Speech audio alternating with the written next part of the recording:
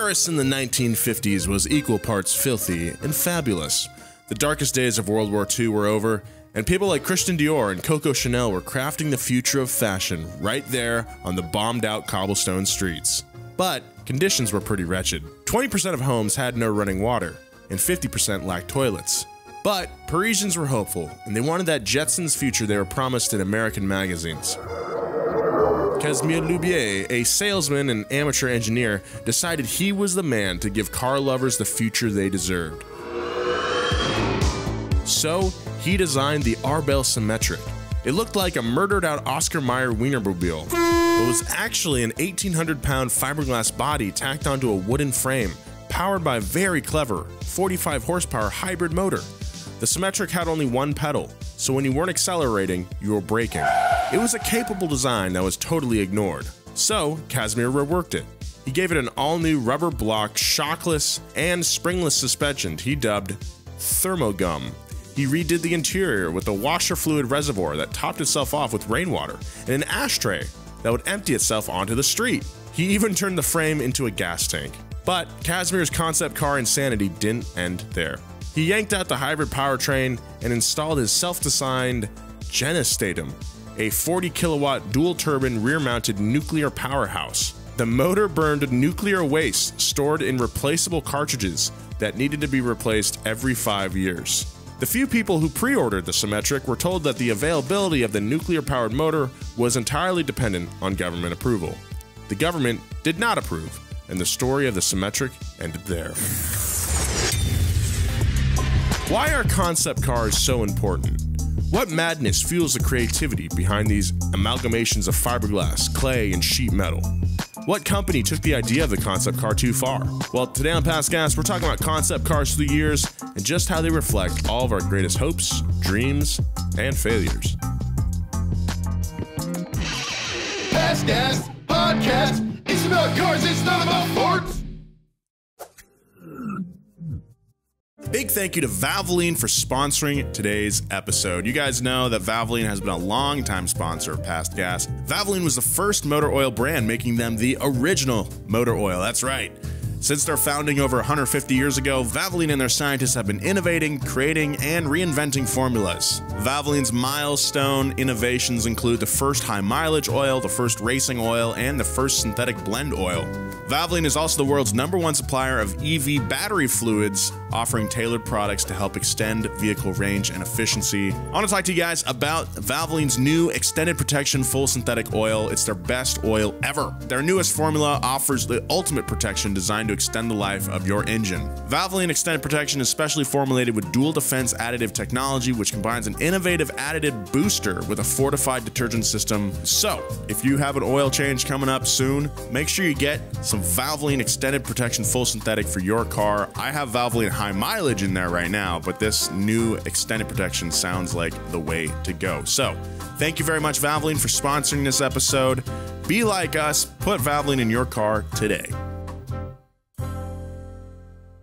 Big thanks to our sponsor this week, Current. You know, traditional banks can be really hard to work with. They're only open from like 8 to 4:30 for some reason when you're working, and they'll charge you fees for not having enough money in your account. What the heck's up with that? Well, that's where Current comes in. Current is the future of banking, where you can send, spend, save, and manage your money all from your phone. And right around now in the holidays, that's a real nice thing to have. Current's app and connected debit cards help you get ahead by giving you faster access to paychecks, fewer fees, and more flexibility. With a Current Premium account, members can get paid up to two days faster on direct deposits because some banks hold your money for 48 hours. That is an amazing feature. I know I'd want to get my money two days faster. And also, there's no overdraft fees up to $100, which means no more anxiety about getting declined when you swipe. For a limited time, we've partnered with Current to give away cash for the holidays. That's right, you heard me. Current is giving away $200 to 10 podcast listeners in the month of December. All you have to do is download the Current app and enter code GAS during signup before December 31st for a chance to win. Remember, that's GAS, G A S, during sign up.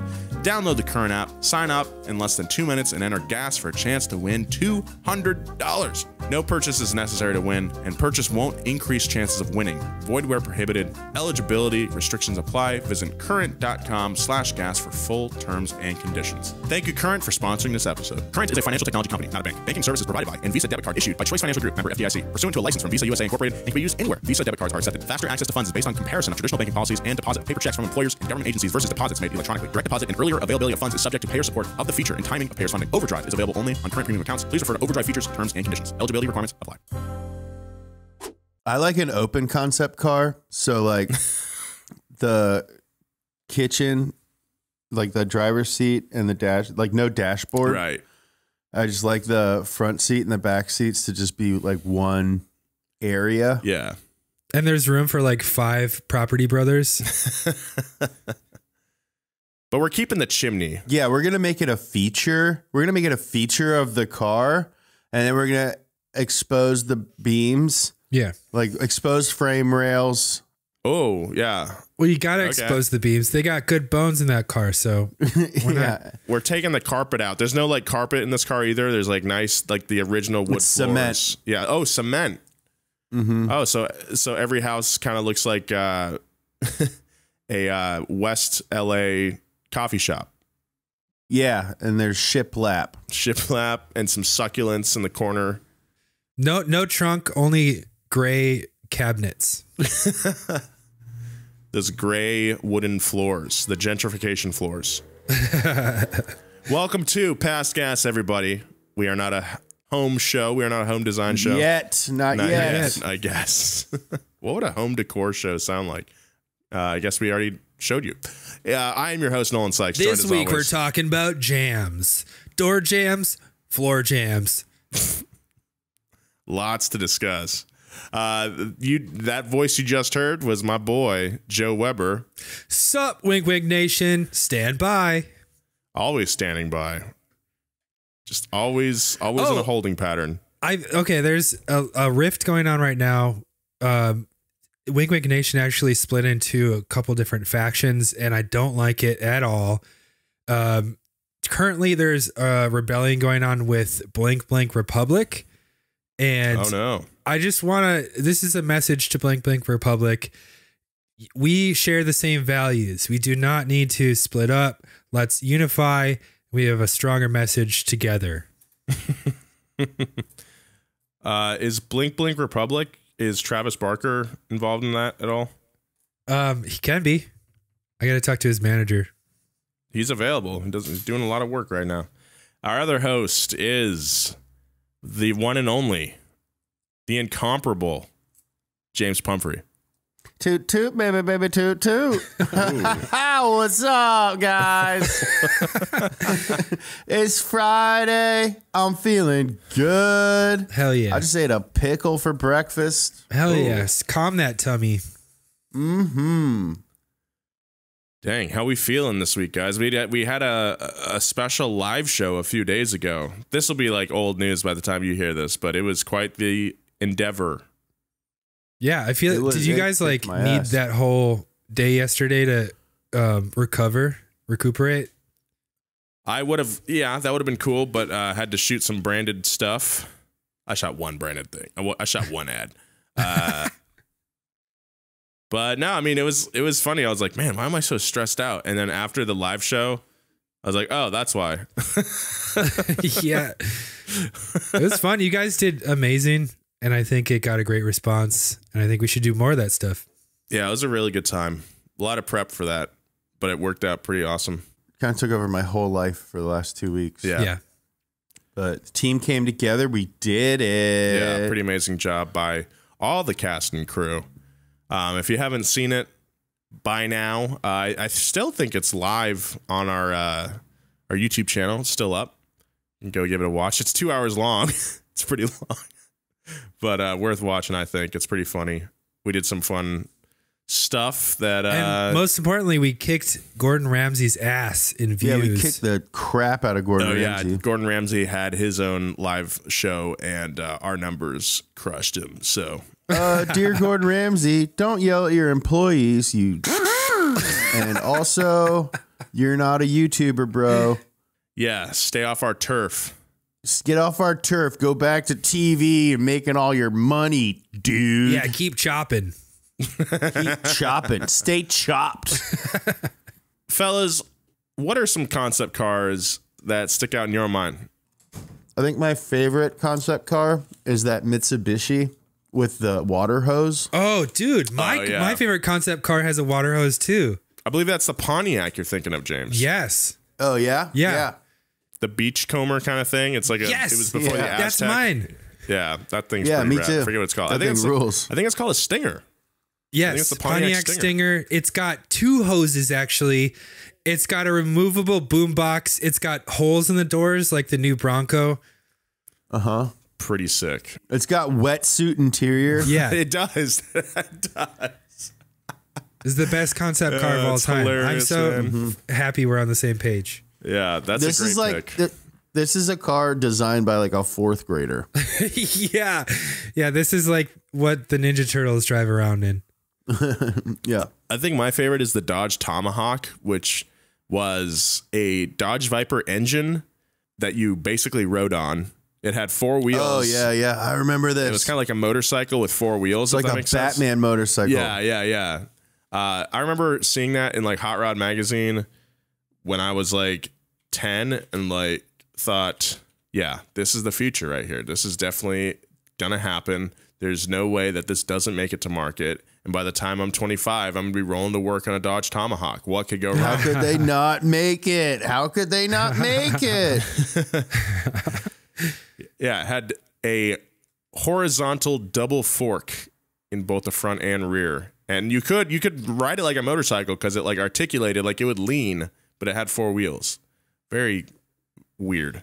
Um, a close second for me is the Aston Martin Bulldog, uh, designed by none, none other than uh, what's his name, the Italian guy, Giorgetto Giugiaro? Giorgio. Yeah, uh, Oh wow, this thing's very cool, very wedge like, very Giorgio. it's this is another thing. Like a fourth grader drew this. Like the proportions are all super weird. Oh, it's, that's really cool. I think this is what became the Countach. The Countach or the Elan, the or not the Elan, the Lotus uh, Esprit. Yes. Yeah. Yes, the Esprit is definitely uh, reminiscent of this. Yeah. Man, I this think is the so cool. the concept I'm I was most excited about and I'm potentially most disappointed that they didn't make was the Nismo IDX. Nismo. It was oh, like a yes. modern it was like a modern 510. Yeah, Like just like a Oh, real yes. boxy Oh, the front totally looks like a 510. yeah, real boxy sports sedan. Yeah. That's awesome. I, I wish they made it was so close to like being Damn. real. yeah. If the if the economy was uh, like at 1990 levels now, Yeah. they probably would have built it. But unfortunately, nobody wants to build fun cars.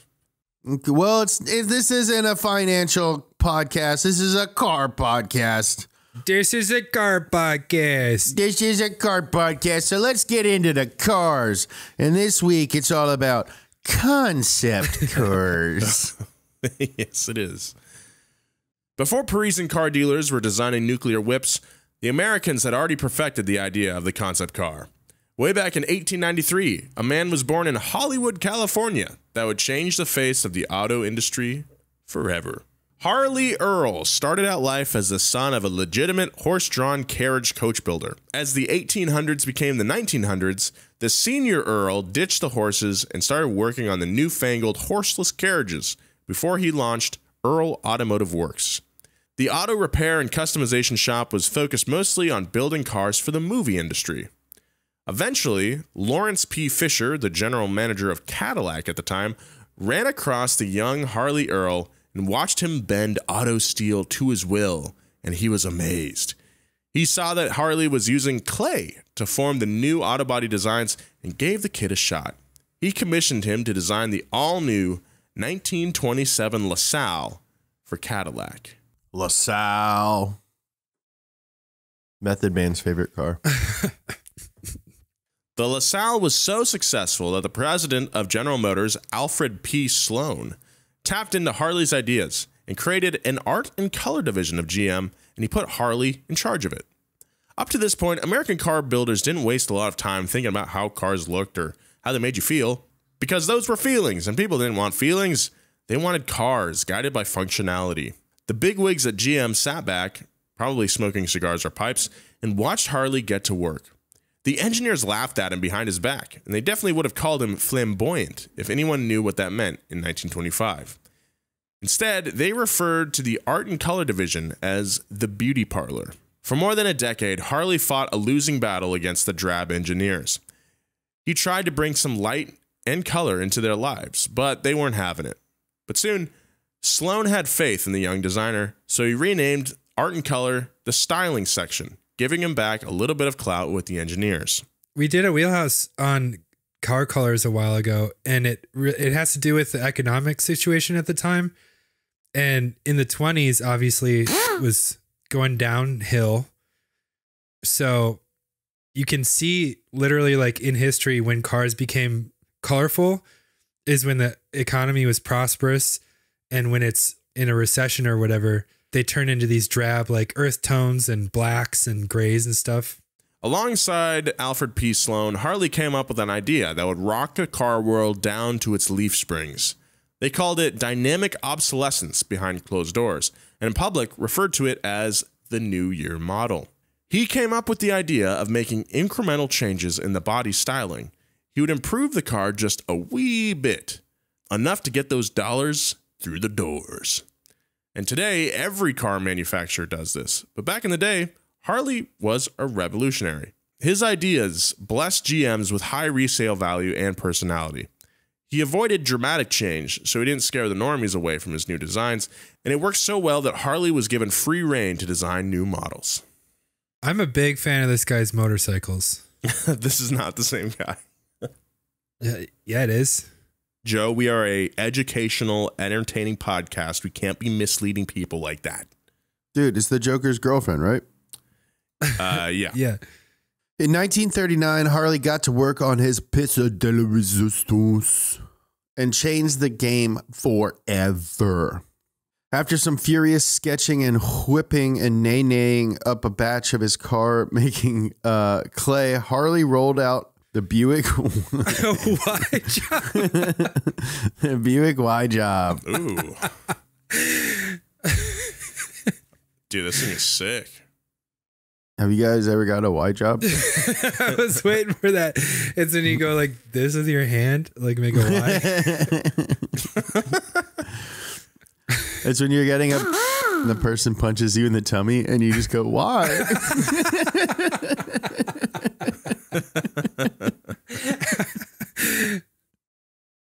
It's the holiday season, and you don't know what to get as a gift or stocking stuffer? Well, today's sponsor, Manscaped, has the tools to guarantee you win this year's stocking stuffer or white elephant competition. Manscaped is the leader in men's below the waist grooming, and they have served more than 4 million men worldwide. My math is correct, that's almost 8 million balls. Get 20% off and free shipping at manscaped.com with code GAS20. Manscaped's best selling product is the Performance Package 4.0, which is at the top of every man's wish list this year. Dude, if you don't want one of these things, you're missing out. The Lawnmower Body Hair Trimmer is the best trimmer on the market for your balls, butt, and body, and the Weed Whacker Ear and Nose Hair Trimmer is just as good. They've also got a shampoo and body wash that I've been using for the past few weeks. I actually need to get more of the body wash because guess what? I've used all of it. Stinky guy. That's just what happens. But it smells really good and just has a really nice lather. I love it. The Manscaped cologne, I also have been using that. That's like my travel one, and I really like the smell of that too. It smells sophisticated. Get the performance package now to receive two free gifts with it the Manscaped boxers, which I wore yesterday, and the Shed travel bag, which I also used during my Thanksgiving trip. Manscaped. Get 20% off and free shipping at manscaped.com with code GAS20. Be the ballsiest gift giver ever this year with Manscaped. Thank you, Manscaped, for sponsoring this episode.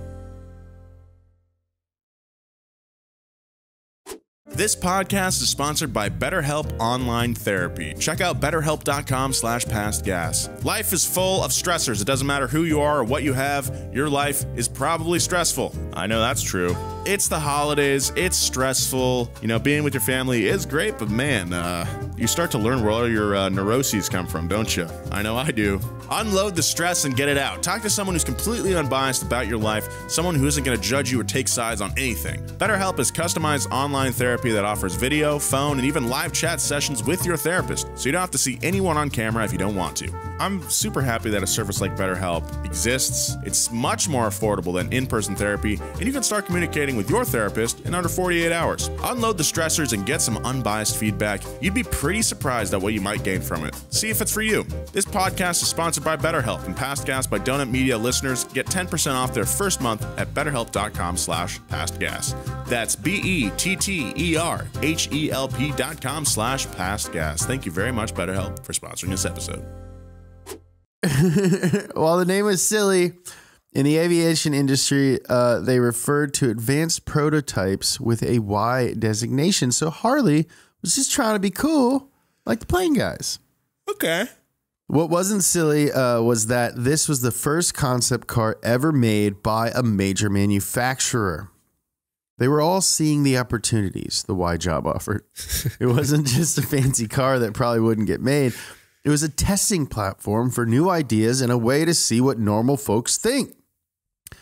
One problem in the industry is that makers spend a lot of time developing concepts in secret without getting feedback from the outside world. Prototypes and concept cars let the builders test out ideas, and if everyone laughs at them, they'll mothball it. but if everyone falls in love with it, you'd see bits and bobs from the concept all over the new cars from that manufacturer for the next few years. That's kind of what I'm hoping. Uh, Acura, I hope they take all this uh, criticism into action. I would not hold your breath. Uh, watch me. I'm gonna hold my breath for a long time. At best, it's like months, probably years. Even if they take it all, just don't hold your breath. You'll die. I've done it for at least three minutes. I could do it for a couple years. That's where the 1938 Y job came in hot. this long black Buick was sexy. It had a pop open headlights. It had power locks and windows. It had wraparound bumpers, and it even had Tesla esque flush door handles. So, how many of those touches made it to the 1939 lineup? None. But they would appear in one form or another over the next few decades on other Buicks. Hmm. Yeah, I'm pretty sure this car, this Y job, Y job. Pretty sure this won like best of sh- best in show at uh, Pebble Beach, the rich person's car show. Sometimes I wake up on Monday mornings and I'm like, ugh, why job?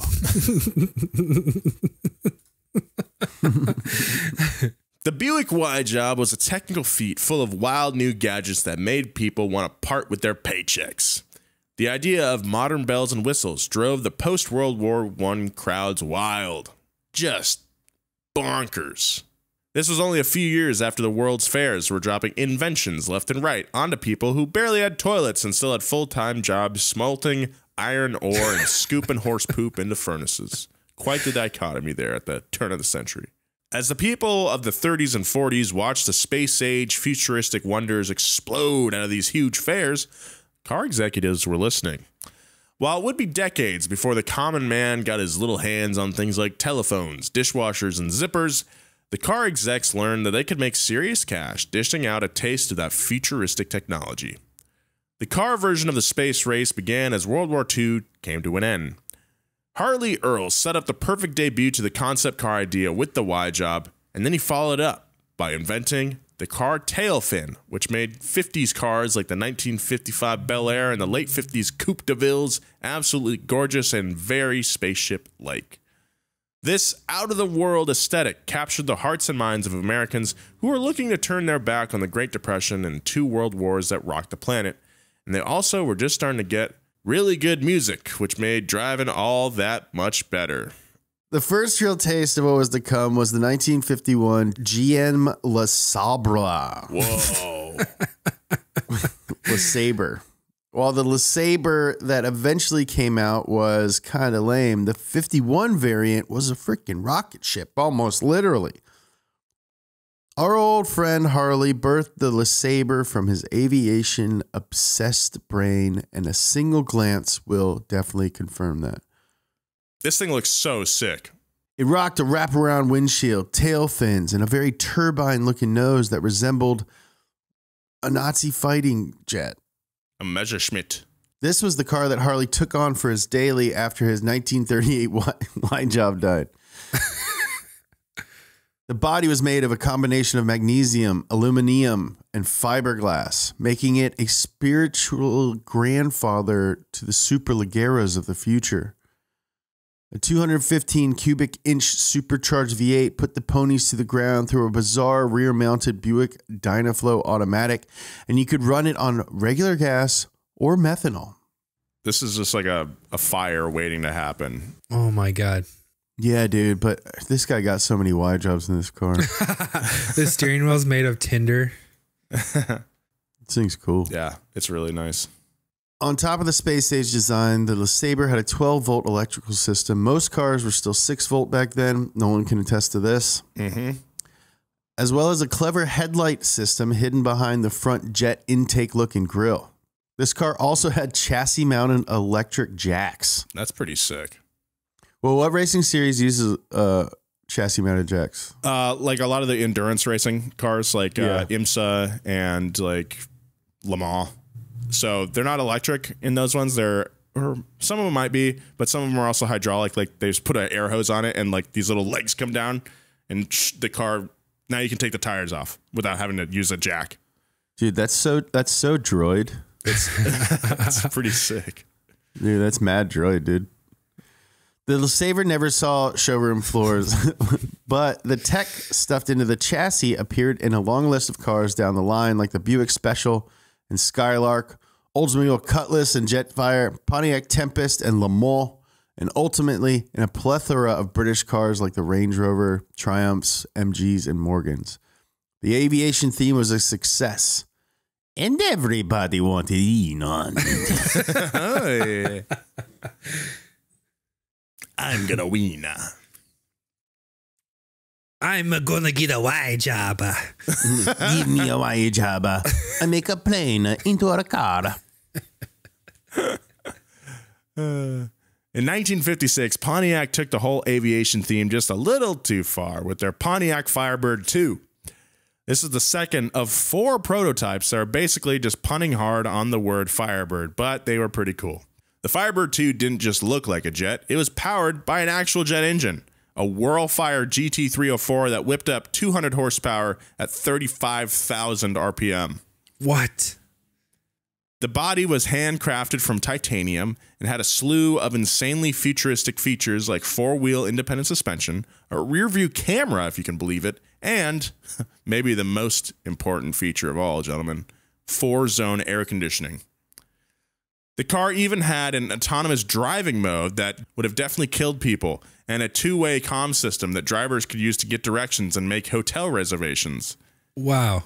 This 1956 Pontiac had OnStar 40 years early. yeah, cool. Oh, that's mm-hmm. cool. It's like, it was just probably just like a phone that like called a hotline. Yeah. Do you guys think it's a bad idea to put like ten thousand dollars of stock into OnStar right now? I think there's probably a better use of ten thousand dollars than OnStar. I think OnStar is like on the precipice of something great right now, though. I think. Based on what? Well, you know, like crash calling. Like uh, how many other uh, companies are doing crash calling right now? Dude, be, be like me. Put your whole nut in something safe. invest invest in 10 10 220. What's that? You get cheaper calls Oh, across the nation, long distance calls. Just dial down the center with 1 800 ATT. yeah, I think that makes sense because they're. I've seen them installing a lot more like payphones on the street. Yeah, 10 10 220. It's like not flashy, Yeah, but it's safe. I get that. I'm I'm in. I'm gonna take out ten thousand dollars from my uh, Rivian stock and put it into that. Speaking of $10,000, Joe, have you got your 4Runner back? Is that coming today? It's supposed to. Speaking It's supposed to of come. Finger- Fingers crossed. Um, this guy's doing a real wide job on me right now. So trying to uh, put the heat under his butt, and he told me he promised me he I would get it back before Thanksgiving. So I'm gonna hold him to that. And if not, we'll uh, show up with some baseball bats. From the 1950s to the 1970s, concept cars just got more aerodynamic and more Jetson like.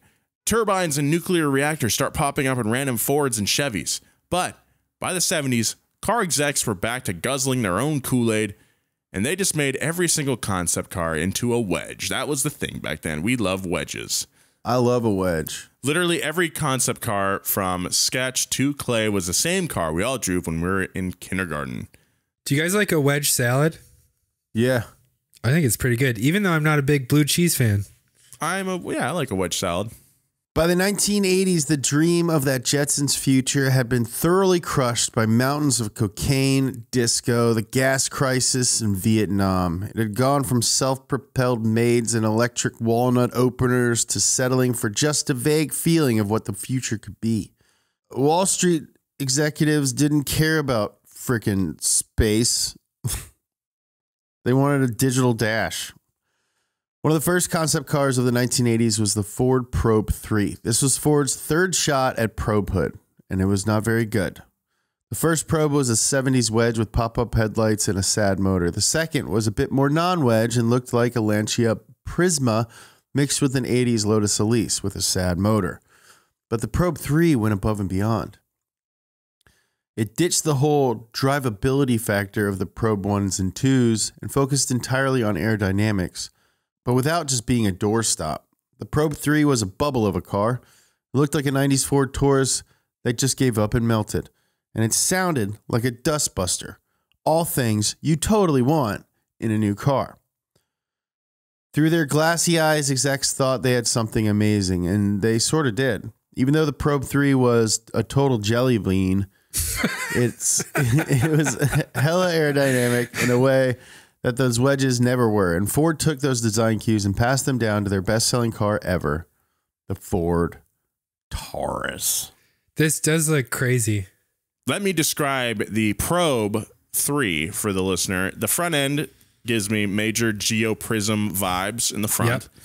The mid side, like the mid box, the middle box is pretty Taurus like. But then the rear uh, has like fox body tail lights, it looks like. You know the ones that kind of look like window blinds? With like a Kazi wing on it. Yeah, it's got like two Kazi wings on the back and then a covered rear wheel. And uh, like sort of like a fastback hatchback looking thing. It's very strange looking. The wheels are kind of cool though. I could see those being at, at like a Volkswagen show. Yeah. Looks like something you'd see in uh, Demolition Man. That's just demolition, man. Yeah, man. that was such a weird line to end that movie on. I know. but at the end of the day, that's just demolition, man. Do you know he still has the turtle from Rocky? Whoa, and it's like really? 46 years old or something. Wow. I love Rocky. Sylvester Stallone is definitely a guy who's like way smarter than he comes off. Yeah. He wrote Rocky. Uh, Can you imagine him? He's like him at a typewriter reminds me of that meme with all Oh, the yeah. strong guys like emailing each other. yeah, He's like he's like typing with just his pointer fingers. yeah, yeah, yeah, yeah, yeah. Yeah, yeah, yeah, yeah, yeah. yeah, yeah, ah, yeah, yeah. Another big thank you to our sponsor this week, Valvoline Motor Oil. You know them, they're the original motor oil. If you've already got Valvoline oil in your car, you need some Zerex by Valvoline coolant in there as well. Whether it's time to top off or do a complete system flush, Zerex by Valvoline is made specifically for your exact make and model. Zerex from Valvoline is the number one selling OEM approved coolant brand that's been proven to maximize engine life. Zerex provides better protection against the four main causes of cooling system failure, which is the leading cause of engine breakdown. When you see someone on the side of the road with a bunch of steam coming out of their hood, that means their cooling system has failed, and uh, that's never a good time. Zerex ensures ideal corrosion protection versus generic antifreeze, and their patented formulas contain the highest quality additive packages in the country. And now you can get $2 off any gallon of Zerex at your local O'Reilly Auto Parts. So check that out. Get some Zerex for your car, get some Valvoline for your car. I know I got to put some Zerex in there. I haven't done a coolant flush in a while, and you know, my car's getting a little older. I want to keep the car for a while, so I got to get Zerex in my car. You can too. Get Valvoline wherever you get your motor oil, get some Zerex in there, and uh, you'll be set, man. Valvoline, thank you very much for sponsoring this episode. Hey, thanks to this week's sponsor, Current. You know, it's the holidays right now, and it can be very difficult to keep track of all your spending this time of year. And that's where our sponsor this week, Current, comes into the picture. Current is the future of banking, where you can send, spend, save, and manage your money all from your phone. No more long lines at the bank, no more weird bank hours. Why do they close at 5? With a Current premium account, you can get paid up to two days faster with direct deposits, and they don't have overdraft fees up to $100, which is awesome. I love banking from my phone, and with Current, you will too. For a limited time, we've partnered with Current to give away cash for the holidays. That's right, Current is giving away $200 to 10 podcast listeners in the month of December. All you have to do is download the Current app and enter code GAS during sign up before December 31st for a chance to win.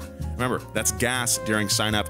Download the Current app, sign up, in less than two minutes and enter gas for a chance to win $200. No purchase is necessary to win. Purchase won't increase the chance of winning. Void where prohibited. Eligibility restrictions apply. Visit current.com slash gas for full terms and conditions. Thank you, Current, for sponsoring this episode. Current is a financial technology company, not a bank. Banking services provided by and Visa debit card issued by Choice Financial Group, member FDIC. Pursuant to a license from Visa USA Incorporated and can be used anywhere. Visa debit cards are accepted. Faster access to funds is based on comparison of traditional banking policies and deposit paper checks from employers and government agencies versus deposits made electronically. Direct deposit and earlier availability of funds is subject to payer support of the feature and timing of payers funding. Overdrive is available only on current premium accounts. Please refer to overdrive features, terms, and conditions. Eligibility requirements apply. If you listen to our Lee Iacocca episode, you know that minivans were the ultimate hotness of the 1980s. While European families were cramming their kids into Renault sport wagons, Americans said, no thank you, and turned their backs on short cars. They wanted headroom. They wanted Star Trek inspired shuttle lookalikes powered by motors that said goodbye to the oil crisis and hello to the future. The Trans Sport minivan relaunched Pontiac's dead concept car team after 10 years of twiddling their thumbs. This thing actually, the concept looks sick. In actuality, they were all fired, but they hired new people, and those people knocked it out of the park with the speedy Arrow Kitty Holler. Spinny Arrow Kitty Holler. That's not bad. You can see where the eventual Pontiac minivan came from. Because Dude, I bet that thing gets so hot inside. Oh yeah, it's a oh bubble. yeah, It's got a huge uh, windshield. Uh, it's like a greenhouse kind of thing. Yeah, it probably Lots of gets glass. Really warm. Also, it's got a murderer driving it. Renault, yeah, yeah, does John Wayne Gacy. It looks like the Renault Espace. Mm-hmm. that super, the super van. Yeah. It also looks like the Star Trek landing shuttle. Yes. Yes, yes, yes, King.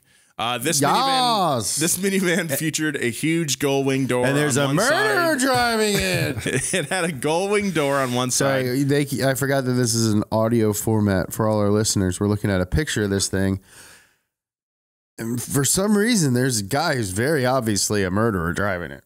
He's got like a members only jacket with a little bit of blood splatter. members only jacket. had a huge gull wing door on one side, a heads up display, a computer to book travel reservations, had a backup camera, and even a Nintendo Entertainment System. So the little ones in the back could crush each other at Excitebike and not bother old mom and dad. Don't bother old mom and dad. Mom and dad were busy enjoying the Turbo V6 that put out 235 horsepower to the pavement. That's more than 50 more horsepower than the Corvette of that year. Hell yeah, dude. This thing rocks. I wonder if that was the related to like the GNX motor because that was a turbo V6 that put out around 235.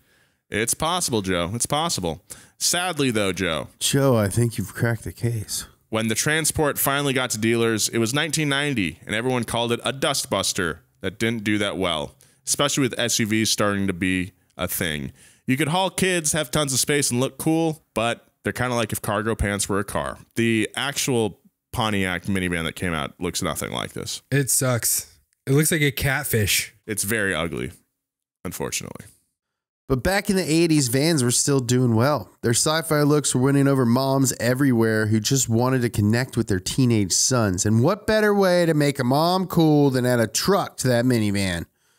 The GMC Centaur was a half minivan, half truck that looks like a stretched out, half melted VW Type 2 pickup. The massive interior had two bucket seats and a huge bench in the back. It was about the size of standard 80s sedan interior. This reverse mullet was party in the front, all business in the back, the 2,000 pound pickup bed and 5,000 pound towing capacity. So this is Max Max's dream car right here. They actually made a couple of these GMC Centaurs, and It looks like a sperm. I think it's a full time or full sized Ram van in the front with a huge cab and then just a pickup bed. It's weird as hell. They also make flatbed versions with like a fifth wheel. Hmm. Interesting. You can still find them though. They're like a couple thousand bucks. It looks like a slipper. It does. Yeah. This is a slipper, like a classic, like cartoon slipper. It looks like Homer Simpson's slippers. It also looks like a sperm. While the 80s concept cars were all digital dashes and laser beams, the car execs of the early 90s put away the cocaine and started to get serious. They'd survived oil embargoes and restrictive emission standards, and cars were starting to get good again. The concept cars of the 50s imagined a world that could be, but by the 90s, we had some solid car tech happening, and they were fun to drive again. So, executives sat around the table, probably, and started brainstorming about the future of cars. The big three, being quite self congratulatory, looked back at all their past successes and decided it was time to play their greatest hits all over again. No more digital dashes, no more door sill lighting, no more clever transmissions or aero lines. It was time for some retro. The 90s saw the birth of resto modding. People were grabbing up old cars and shoving brand new crate motors under the hoods, making something fast, fun, and fancy. Everybody loved these things except the purists, but they hate everything that isn't numbers matching. The whole shebang started off with the early 90s Viper that promised a big fuel injected V10 crammed into a sleek and sensuous car that looked like the roadsters of the past, but with tons more big boy energy. It was old school, but it was also new, and it flew. The Viper made 400 ponies, twice that of the Mustang that year, and more torque than two 1990 F 150s strapped together. Wow. The Viper was embraced instantly by everyone from poster collecting fanboys to critics to Kelsey Grammer. It was such a big success that people wanted more. Execs at Chrysler grabbed Tom Gale, the man who designed the insane Viper concept, and they turned him loose to design whatever he wanted. I think um, this is what kicked off that uh, you know, like the PT Cruiser, the Prowler, even the new Beetle.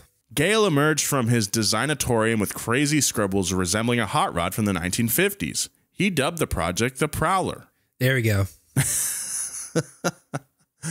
This beast had a super high belt line, along with a steeply raked windshield and open front wheels.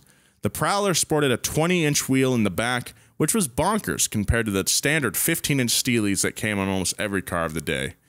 You could also get it in almost any color you wanted, as long as those colors were yellow, black, or red. There was even a matching trailer option to make it look like the car had a second butt. That's strange. The crowd went wild, and the bean counters loved it too because the MSRP was almost $40,000. That's 90s money too. That's pretty expensive. Then they got creative with sourcing parts. They used the heart and transmission of the Eagle Vision and the rack and pinion of the Dodge Caravan. With the high price and 40% of the car being sourced from the parts bin, it seemed like a win win. But Plymouth made a fatal mistake.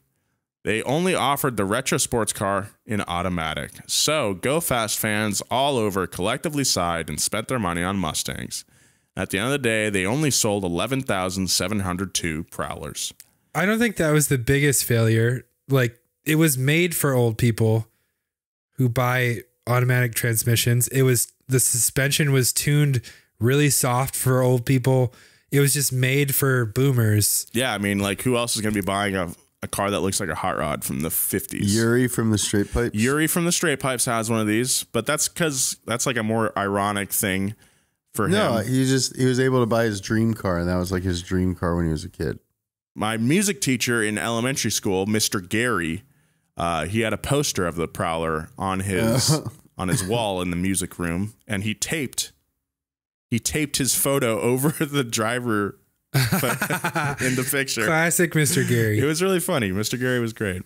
That's pathetic. Hey man, Mr. Gary had a great, had an impact on a lot of kids' lives. Very positive. I hope. he's Hey, still- stick still to around. having an impact on kids' futures, Yeah, idiot. yeah. Stick to me, stick to mentor and stick to Mr. Gary. Pathetic. I hope he's. I hope he's still around. Hey, Mr. Gary, I didn't even go to college. I could buy a prowler. Yeah, but then you'd be driving a Prowler. I love Mr. Gary. Sorry, Mr. Gary. I don't think you're He's a pathetic. good man. He's a good man. I think you're great. The whole retro trend with new bits and bobs is still going strong. Hyundai recently dropped an EV concept resto mod thing based on one of their early uh, models, but totally outfitted with modern electric car drivetrain. It's super awesome. I love it. While the retro concept cars started out a bit goofy in the early 90s, they're heading in a pretty awesome direction, with car makers staring at the muscle car era instead of the hot rod era.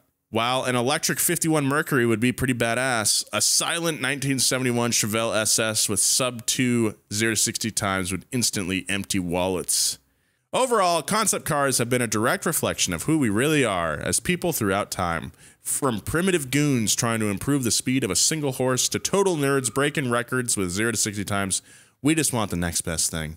And while that next best thing used to be the future, now we're looking for sequels to our favorite hits, and they better be good.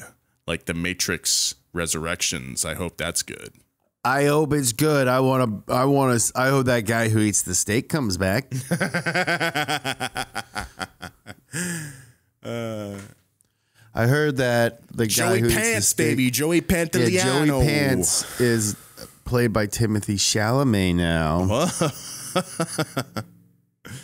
I like Tim Chalamet. I'm I'm on board. Me too, bro. I'm on the Tim train. Joey Pants. Big fan of the podcast, Joey Pants. Joey Pants, shouts to our number one fan. We appreciate your support. Stop coming to the office. we got work to do. We're just trying to get it done, bud. All right, well, that is the episode, but we've got a letter from Kamal. Kamal writes Greetings. I'm a huge fan of your show. I'm a South African born New Zealander, which is an interesting mix of car cultures. I bet your accent is hard to reproduce. The South African in me loves old BMWs. The Kiwi bit of me loves drifting and rally. So hopefully soon I'll be doing a Zack Jobe and building an E36. Go for it, man. Great car. Really good car. I just want to say thank you for the amazing content you have been relentlessly putting out. Definitely helped keep me sane and entertained during lockdown last year. You are welcome. To the juicy bit. Spinning or gusheshe is a huge part of South African culture. From Wikipedia, quote, spinning is a South African motorsport that involves driving cars at speeds in circles and performing stunts in and out of the car. It originated in Soweto in the late 1980s and was performed as a funeral ritual in which a stolen car was spun around to honor the deceased. Oh, hell yeah. It is now a recognized motorsport. I did not know that part of it, and I'm sorry if I completely butchered the pronunciation. Kamal writes on I went to South Africa in 2019 and went to so- Soweto to these events. It was amazing to watch old BMWs with souped up and even swapped engines designed specifically for this form of street ballet. The culture is rich, and I think that Past Gas should do an episode about it and the context from which it was conceived. Warmest regards, Kamal. I think that's super cool. There's that that um, young girl that was on Hyperdrive that was part of this culture, and she killed it. And I would love to just like interview her. for any reason or just like for your life? I'm just inter- like it's such a foreign culture to me that I would love to just like pick her brain about it. And I, di- I didn't even know that like you could find these old cheap like three series down there. Yeah, our buddy, our buddy, our good friend Aaron Parker went to a uh, spinning thing when he went to South Africa with Mad Mike Whiddett, and he said it was a pretty gnarly little scene there. So yeah, I'd love to love to do that. Yeah. If you would like to contact us, hit up. if you'd like to like to- contact us, if you'd like to contact us, uh, email at us at pastgas at donutmedia.com, and maybe we'll read your email on air. That was a good episode, guys. Uh, follow the boys. Follow my men at James Pumphrey, at Joe G. Weber. Follow me at Nolan J. Sykes. J. Sykes. Love you guys. Later. Peace. Be kind. See you next time.